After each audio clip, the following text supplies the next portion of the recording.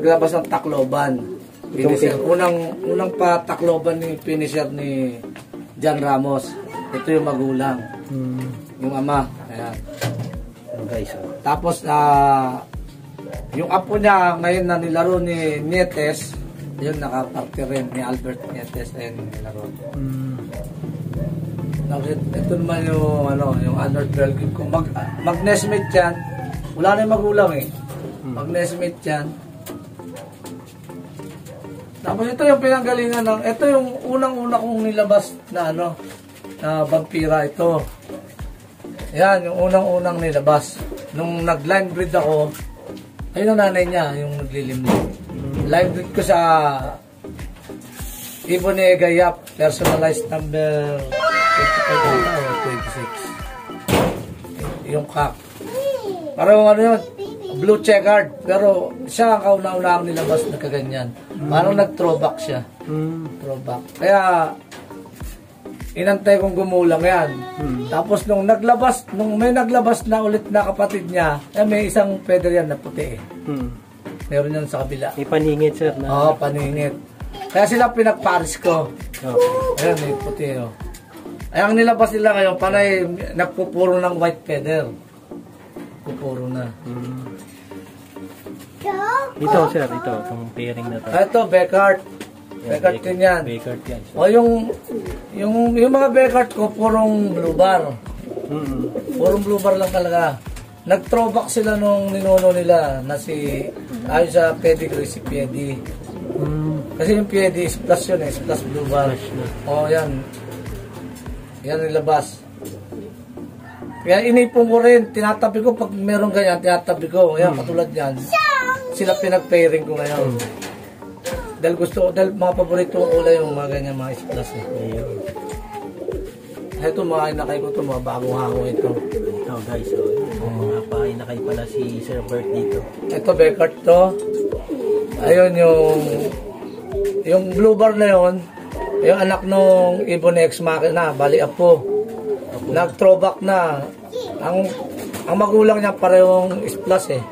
Checkered. Nag-throwback siya ng Hayabusa. Kasi purong blue bar yung Hayabusa eh. Hmm. Yung lola niya. Tapos ito. Diyan na Arden yan. Marta Banjil. Naglabas ng brown. Bali, ito magulang niya. Ayan. Ah, ito, sir. Oh, ayan ang magulang Itong off-color ang ano. Oh. Parang nag- nag-combine yung ano, yung kulay niya, nag-combine. Hmm. Ano yan? Slate no?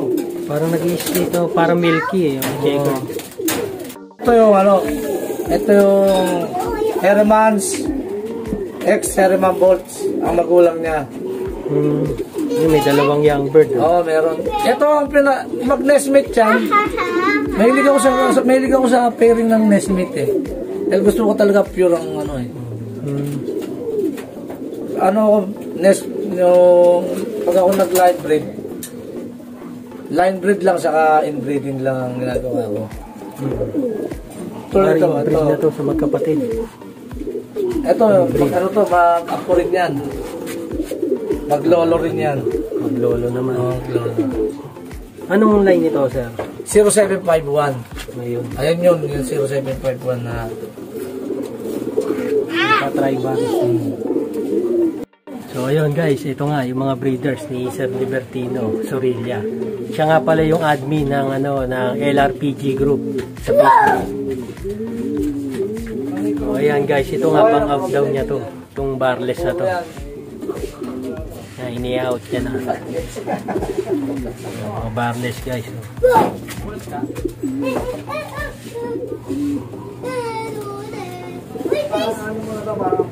Oh, So guys, yung ex machina na ino. Napili niya.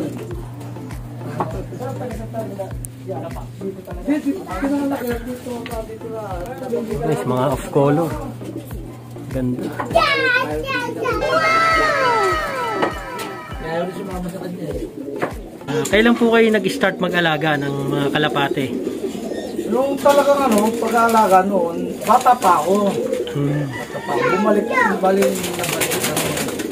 Kung saan ako matira noon, lagi kami may, lagi kami may kalapate. Kaya lang, mga ano pa yun, mga mga panahon ng araw, mga palto, Ah. piso sinasabi, Mm. mga ganun. Ganun mga alaga. Tapos itong, yung pamangkin ko na nakatira rito, Andun pa kami sa Palaw noon sa Kalamba. Kami sa Palaw. Nag-alaga. Eh, siyempre sa akin nakatira rin yung pamangkin ko eh. Eh, suporta rin ako. Di, bili rin ako ng bili ng mga kalapating ano, mga tigisan daan. Ah. Hanggang sa dumami yun, dumami, na, nakabili ako ng airbots. Ah, airbots may papel yun. Mura lang na, mura ko lang nabili yung airbots yun. Baka na, ay matagal na yun, may mga 3.5 siguro. Eh, hindi pa nga makapaniwala na may ganong presyo ng kalapati eh. Hmm. Eh, kailangan nung ano, nung sima, sa sima ko nabili yun. Sabi niya, sabi niya sa akin, mura na yan. Kasi nakita kami sa POA, sabi niya, mura na yan, pare. Ano, may papel niya. Hmm. Hindi, siyempre kaya na, di pinili ko. Yung dumami, dumami yung airbots na yun. Hmm. Nilaro ni ano, ni... Naka, pinahirap ko kay ano, kay Norman Agoncillo. Hmm. Oo, naka, ayun ang una niyang 10th overall, yung anak. Hmm. Tapos sa Romblon finisher ata. Romblon lap winner din, lap champion din. Oo. Ayun ang una niyang ano, ibo ko, yung Hmm. una siyang nagkaroon ng nakapwesto siya. Yung una niyang airbots. Tapos noon, bumili ako, bumili ako ng mga Taiwan. Kasi na, engganyo ako sa mga sing-sing, Mm. mga ano, bumili ako ng, nagbibili ako nagbibili. Tapos naging kaibigan ko sa Facebook si Joel Javier. Hmm. Ay, nagkakausap kami. Sabi sa akin, bro, mas maganda bilhin mo yung mga may papel. Hmm. Sabi nga, mas maganda yon. Ayun, bumili ako noon. Bili ako ng bili. Hmm. So, na yun. Pero ngayon, hindi na ako ganong nagbibili. Yung ano na lang, oh. So, Ayun, hanggang ngayon. Mas ano ko, mas prepare ko yung, ano, yung pag-breed. Kasi ma, parang challenging ba yung Hmm. pag-breed. Talagang inaantay mo, binibilang mo yung araw. Hmm. Saka ikaw yung magsisingsing. Pag ako naman nandun sa abroad, misis ko lahat gumagawa. Siya nagsisingsing, siya nag-ano. Ayun, so hands-on din guys yung kanyang misis. Ayan, si misis ni Sir Bert sa pag-iibon pala. So, siya ang nag-aalaga. Supportive pala, sir. Oo. Yun nga guys, kung di nyo may tatanong, si Sir Bert kasi ah, nag-abroad to. Ah, kaya kami nakapunta dito ngayon kasi nga umuwi siya ng Pilipinas. Kaya ayun, buti at nakap- napagbigyan tayo na bisitahin siya. At ayun nga guys, si Sir ano, Libertino, isa rin siya sa mga admin ng LRPG group sa Facebook guys. Tapos ah, guys, ah, may Christmas party nga pala ang Kabuyaw, tropang Kabuyaw. Isa sa mga sponsor to sa mga magpaparapol ng mga ibon. Ayun. Hindi, ano naman, yearly naman na yearly. bigay ako pag nagsabi sila Hmm, sila Sir Bro, Aaron, Bromel, RML, Sir Paul. bibigay ako isa, dalawa. Ayun. So, ayun sir, ah, may mga isa-shoutout ka ba sir? Wala, doon sa mga, ano lang, mga tropa natin. Hmm. Ah, salamat, salamat sa inyo. Salamat. Ah, shoutout nga pala sa mga kaibigan ko sa Pag-ibon, kila John Michael Ramos, sa mga tropang taga Muntinlupa. Ito sa tropang, yung mga kumpare ko, si Pare Marlon Polencia, si MJK, si Pare Joel. Kasi, kasi na Pare Aramel, sila Bon Medrana. Hmm. Dito sa dalawang vlogger. Salamat. Ah, sa sa misis ko, sa anak ko, yan. Sila yung nag-aalaga rito. Yung anak ko hindi, madirihin yun. Maarte yun eh. Ayun. So, ayun Ah, guys. salamat. Sir, Ah. ah, maraming salamat sa inyong pagtanggap sa amin dito. SF yan. Ayun guys, Sakit ko ng ah, magme-merienda muna kami. Ayan, may ipamerenda si Sir Libertino. Kain muna tayo guys. Ayan, yung kanyang makulit na ano dito. Na apo. Bali apo mo yan sir no? Apo na. Pamangkin. Pamangkin pala, pamangkin. Ayan, ang kulit. Ito yung kasakasama niya kanina doon. Ayun, may mga ano pa siya dito guys. Oh. Parang ibon din sa labas. May sakit yan yung nasa ibabaw. Ah, kaya pala nakabukod. Ayan Yung guys, babae, si Jason. eh. Ngayon, buti naka-recover. Beludo Brothers Love TV. Ayan. Support nyo rin guys. Subscribe na. Subscribe na rin kayo guys. Yan. Nauna ka pa eh. So ayun guys, magme-merienda muna kami. Bye-bye. Ayun guys, shoutout muna tayo para sa ating mga subscribers. Yung mga nagpapa-shoutout and yung mga nag-comment sa ating mga videos. Ayun, shoutout kay Sir Luisito Rason.